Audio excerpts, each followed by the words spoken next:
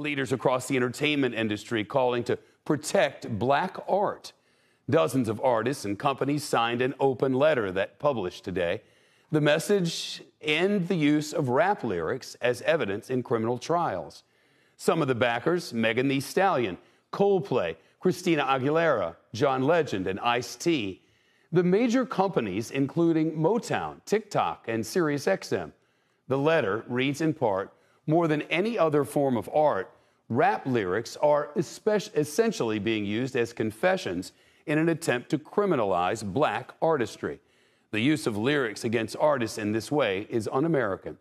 Experts say rap lyrics have been used as evidence in as many as 500 cases. In late September, the California governor, Gavin Newsom, signed a bill that restricts the use of rap lyrics in criminal cases. Similar bills are also pending right now in New York, New Jersey, and in the U.S. Congress.